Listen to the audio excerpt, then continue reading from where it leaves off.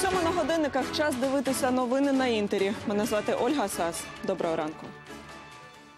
Президент Петро Порошенко виступив на Генеральній асамблеї ООН. Говорив про ведення миротворців на Донбас, про напружену ситуацію з Азовським морем та реформування ООН. Подробиці дивіться в нашому сюжеті.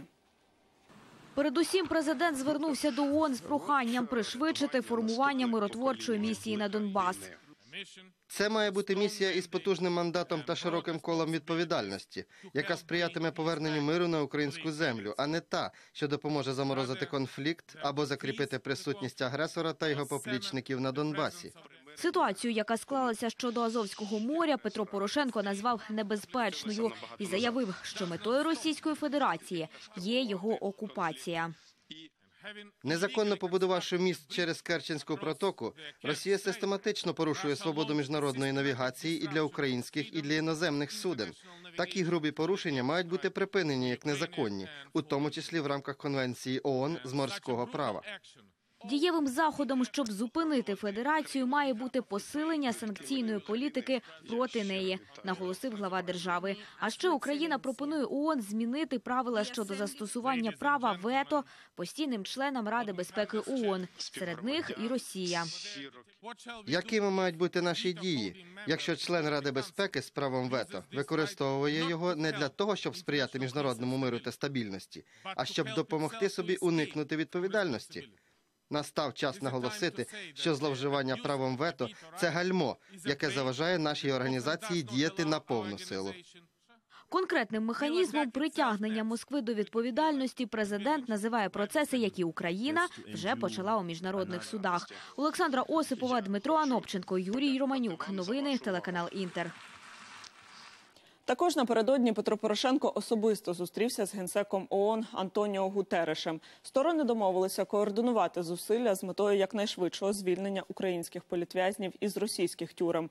А ще президент передав генсеку ООН ноту про розірвання договору про дружбу з Росією.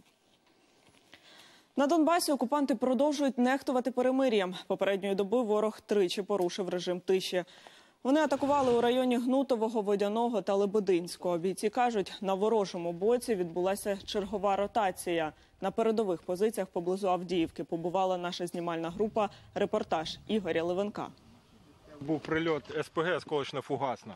Буквально 40-30 сантиметрів від кромки окопа. Удень, увечері, вночі. Смертоносний сюрприз прилетіти може коли завгодно. Це передова в районі Авдіївки. Неподалік Донецька фільтрувальна станція. Армійці кажуть, якоїсь логіки у ворожих обстрілах годі й шукати. Закономірність одна. Якась стрілянина протягом доби неодмінно буде.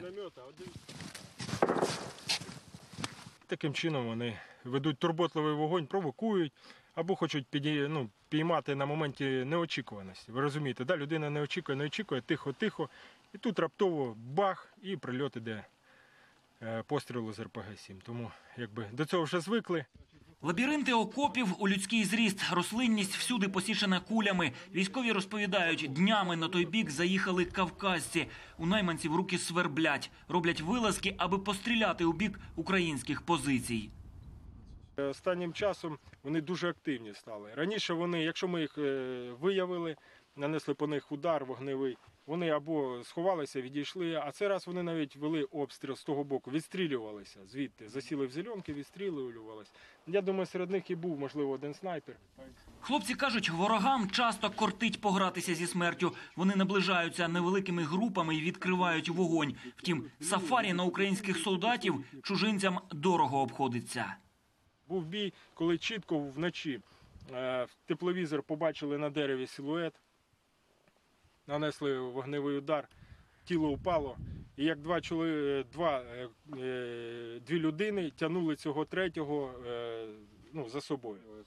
Армійці дають прочухана ворогові, і той на певний час вгамовується. Позиції військовиків надійно укріплені. Тут панує дисципліна і порядок. Солдати, які відзначилися, отримують ось таку нагороду козацький ніж.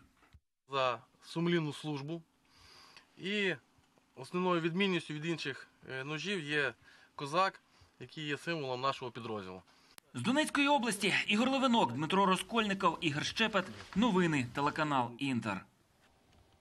Захищати прибережні позиції, знищувати надводні цілі та десант противника. Такі завдання мали українські прикордонники під час тактичних навчань на узбережжі Азовського моря.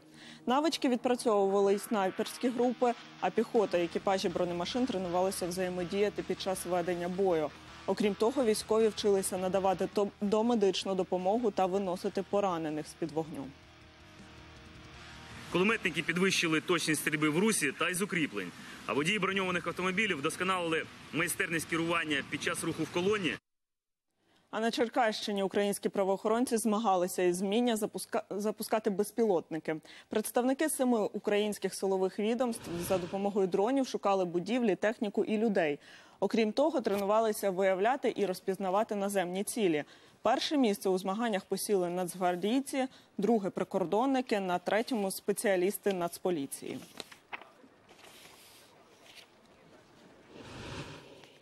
Масове отруєння дітей в Рівненській області. На лікарняних ліжках опинилися 22 вихованці школи-інтернату і двоє дорослих. Усі подробиці дізнавалися мої колеги. Перші вихованці Мізоцької школи-інтернату потрапили до інфекційного відділення районної лікарні ще 19 вересня. За кілька днів госпіталізованих було уже 10. До лікарні доставили і двох працівників закладу – вихователя і кухаря. Всі дорослі працівники мізоцької школи інтернату, діти там підопічні. У всіх хворих однакова симптоматика із скаргами на підвищення температури тіла, е, рідкі випорожнення, блювоту і біль в животі. Десятирічна Даша на лікарняному ліжку вже шостий день. Біля дитини чергує мама. Каже, після того, як дочка поскаржилася на біль в животі, їх викликали у школу. Забрали додому, не температура 39, впала в обморок. Ми визвали швидку. У сусідній палаті 11-річний Віталій. Його швидка забрала прямо зі школи. Хлопчику першому стало погано ще на ранковій зарядці. Я на сніданку був на зарядці, мене скрутило. Як скрутило? Коробком. Полежав в ізоляторі трохи. І забрали скоро, температура під 40 була. Навчальний заклад відразу ж закрили. Усіх вихованців, а їх більше 200, відправили додому. Призупинили навчання, викликали, повідомили батьків. Діти були розібрані, все продезінфіковано. Карантину немає ніякого. У нас заклад для дітей з особливими освітніми потребами. Причиною отруєння вихованців і вчителів Мізоцької школи-інтернату стала сальмонела. Це вже підтвердили лабораторно. Поки робили аналізи, кількість хворих зросла удвічі. Цей збудник ми виявили у, е, від хворих. е, В готовій ну, в сировині, це м'ясо сире охолоджене, а також на е, поверхнях, робочих поверхнях у харчоблоці. Е, Обставини, що сприяли поширенню спалаху, це недотримання правил особистої гігієни та порушення санітарно-гігієнічних вимог при приготуванні і зберіганні е, продуктів. Через спалах інфекції усі навчальні спальні корпуси та їдальню продезінфікували. Зараз приміщення зачинені. Коли відновлять навчання, поки що невідомо. Іванна Ілліна, Сніжана Сидорук, новини телеканал Інтер, Рівненська область. П'ятеро людей загинули і ще десяток зазнали поранень внаслідок руйнування житлового будинку в Нью-Делі. Рятувальники досі розбирають уламки та шукають людей, які могли б залишитися під завалами. Представники влади вже заявили, будинок звели незаконно, тож причиною трагедії може бути недотримання будівельних норм. В Італії в регіоні Тоскана палають ліси. Понад 700 жителів евакуювали. У Пізі закрили аеропорт. Багато туристів виїжджають з регіону на авто. На боротьбу з вогнем спорядили 180 пожежних бригад і 30 одиниць спецтехніки. Рятувальникам заважає сильний вітер. Зайнялося в понеділок увечері на схилах гір. Місцева влада підозрює, що це був підпал. У Новій Зеландії на каное напав восьминіг. Відео за допомогою камери, зафіксованої на носі суд- судна, зняв плавець, що сидів в ньому. Неподалік узбережжя міста Кайкура спрут намагався щупальцем вихопити в хлопця весло, однак у нього це не вийшло, і восьминіг пішов під воду. Плавець припускає, так він шукав їжу.